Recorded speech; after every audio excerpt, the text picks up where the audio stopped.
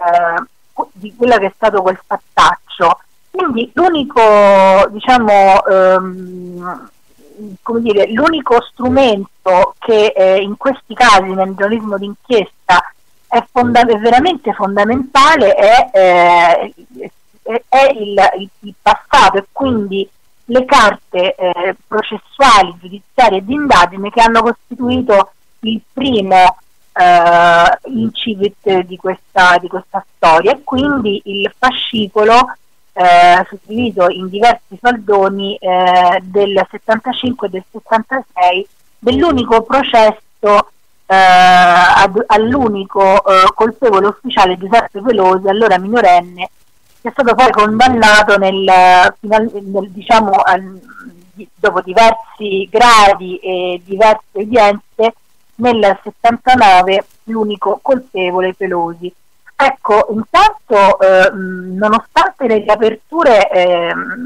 almeno due ufficiali, una un po' meno, che eh, si sono eh, alternate nel corso degli anni, e parlo quelle del 95 e quelle del 2005, eh, e che eh, ovviamente risalgono a degli anniversari della morte di Pasolini, perché comunque eh, soltanto mh, in corrispondenza ad alcuni eh, anniversari di morte si accende quella ricerca della verità. E questo è facile capirlo eh, proprio per i motivi che tu hai illustrato poco fa verso la fine del tuo intervento. E mh, appunto neanche in quell'occasione eh, diciamo chi si è occupato delle indagini ha ritenuto giusto compulsare per intero tutta la documentazione nella documentazione le fotografie, e che sono poi io de- definisco nel libro le evidenze della verità, le evidenze dei fatti, eh, sono, eh, sono diciamo, i documenti più importanti che ancora ci dicono qualcosa mh, sulla morte atroce che ha subito Pasolini. Ehm, purtroppo eh, utilizzare queste foto mh, mm, non mi è esposta in modo benevolo, benevolo sia eh, da parte, diciamo, sia per quanto riguarda i pasoliniani più accaniti, eh, non tutti ovviamente, chi veramente apprezza ha capito l'importanza di questo lavoro,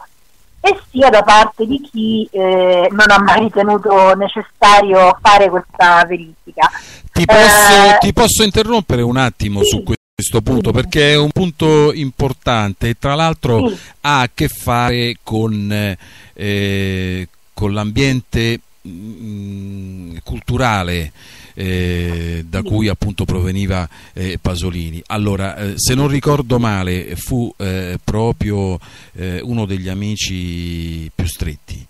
di Pasolini, Alberto Moravia, che disse, perché eh, fu l'unico a poter vedere il corpo insieme a Naldini, eh, che disse eh, un uomo solo non può ridurre eh, un altro uomo in quelle condizioni.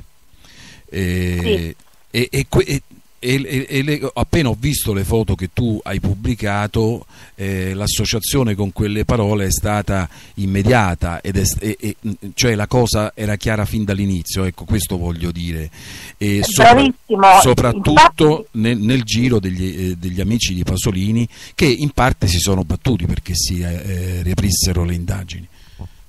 Sì, eh, il fatto è che Moravia eh, però eh, in, non, non, diciamo che inizialmente anche lui si accoda un po' a quello che è stato eh, diciamo il sentire comune, quindi il fatto che quella morte questo bisogna dirlo perché sennò sì, sì, certo. Eh, eh, diciamo che Moravia ehm, anche lui all'inizio proprio perché conosceva le abitudini di Pasolini, eccetera, eh, aveva mm, pensato anche lui subito a diciamo, un contesto maturato in un ambiente marcato omosessuale. Poi, ovviamente, per fortuna da intellettuale, alto intellettuale qual era, ehm, aveva cominciato a capire e a collegare i pezzi, almeno dal punto di vista così, diciamo, eh, di quello che è la logica intellettuale, non certo dal punto di vista giudiziario. Tra l'altro, eh, c'è un fatto inedito che riporto nel libro che riguarda Moravia e che mh, mm, mi ha eh, riferito lo scrittore Renzo Paris durante un incontro di qualche anno fa mentre ricostruivo i pezzi di questa storia. Cioè Moravia eh, eh, era stato chiamato dai magistrati al tempo per riferire eh, di, eh, perché lui insomma ehm, riferì di un inseguimento cui lui pensa di essere stato sottoposto mentre eh, si recava all'idroscalo quella mattina sempre insieme a Paris. E, eh, però di questo, eh, di questo eventuale reale, perché ogni volta che c'è un interrogatorio anche di un testimone a conoscenza dei fatti o così eh, come si chiamano nel gergo verbali di informazione sommaria, eh, non c'è traccia, proprio perché io ho compulsato tutta la documentazione vecchia e, e in parte anche nuova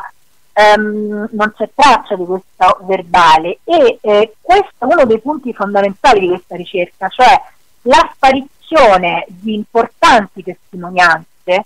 eh, che avrebbero potuto eh, sin dall'inizio ehm, diciamo, rappresentare una svolta nelle indagini sulla dinamica. Ovviamente questo inseguimento di questa moto che ricorre anche in, in alcuni racconti di Furio Colombo era fondamentale, quindi questo è un dato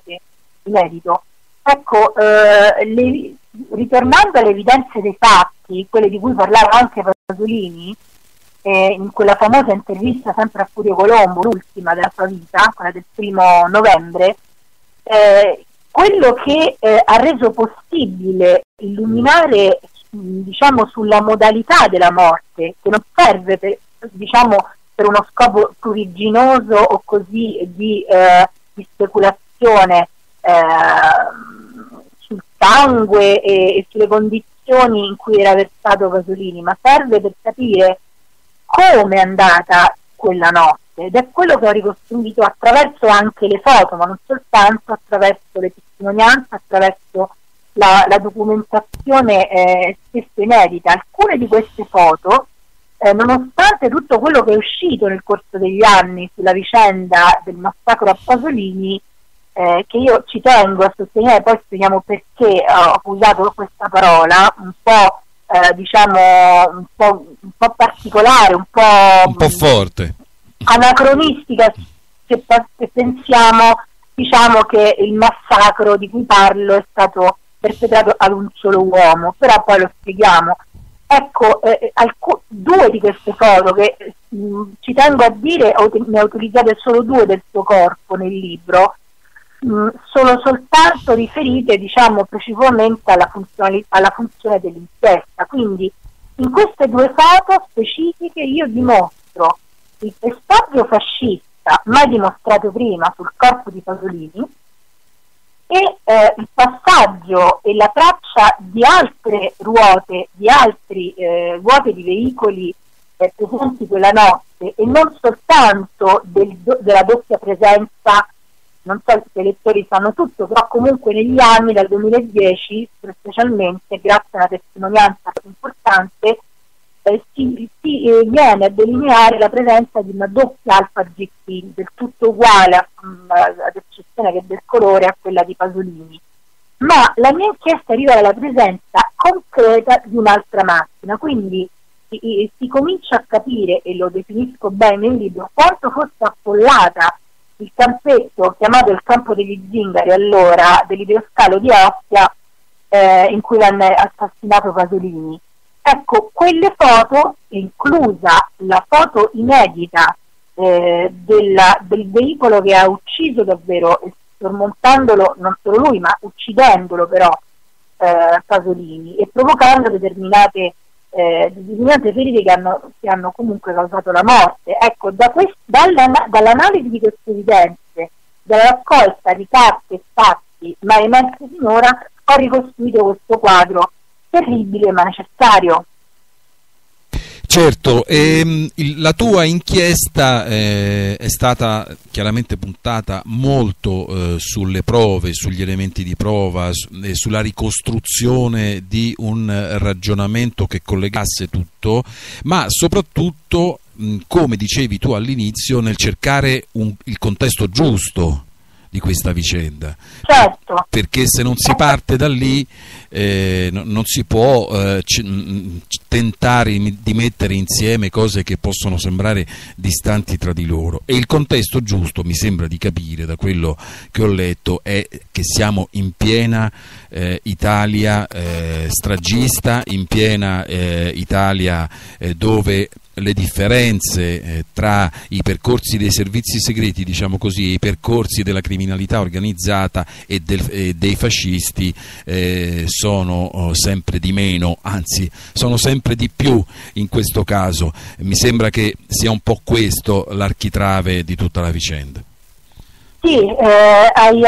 assolutamente descritto bene, nonostante la necessità di sintesi, eh, eh, qual è l'architrave, anche se per certi aspetti è molto più complesso, ma assolutamente la struttura è questa.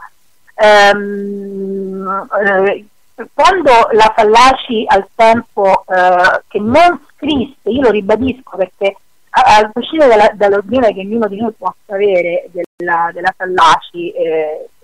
da un certo punto in poi, come anche lei stessa aveva scritto in un libro, ha eh, diciamo così ehm, cambiato un po' rotta sulla, per quanto riguarda la lucidità che la contraddistingueva. Ma mh, mm, in quei tempi la Fallaci era un leone del giornalismo, una leonessa del giornalismo, quindi eh, diciamo che non ha mai utilizzato perché non aveva elementi, eh, pezze d'appoggio, le chiamiamo noi in gergo, per poter almeno indicare come giornalista, non provare, perché le prove le portano solo eh, gli inquirenti e la magistratura, le prove giudiziarie vere o investigative, ehm, la presenza dei fascisti. Lei aveva cominciato soltanto a eh, dinanellare eh, raccogliendo elementi diversi da quelli che stava raccogliendo eh, la, la, struttura inquirente, la magistratura allora, guidata da altri eh, obiettivi, come, scrivo, come riferisco bene, diciamo, credo bene nel libro, e ehm, il fatto che eh, lei sapesse della presenza dei fascisti era eh, qualcosa che aveva saputo da, dalle sue fonti ma che non poteva indicare in un'inchiesta come era quella allora al tempo dell'europeo. E, ci tengo pure a dire che nelle nuove indagini, quelle ultime che si sono chiuse e archiviate nel 2015, il lavoro della Fallaci è molto presente ed è stato in parte confermato dagli inquirenti. Ecco, questo bisogna dirlo, non è soltanto la presenza della moto del Borsellino, ci sono diverse cose.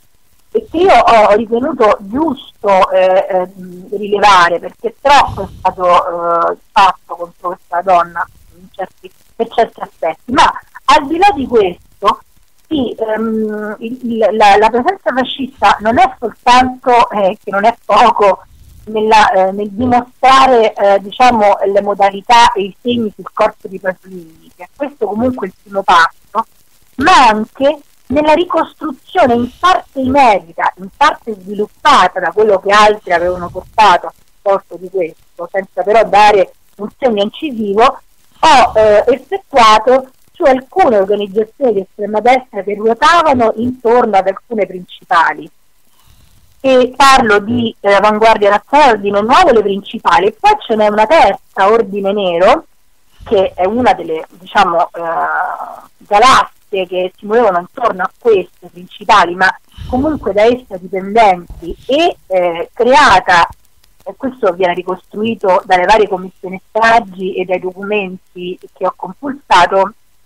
eh, dal Viminale stesso. Ordine Nero è presente eh, e questo ci tengo a dirlo, fin dall'inizio nel fascicolo che riguarda eh, il processo contro Pino Pelosi e la morte di Pasolini, quello vecchio.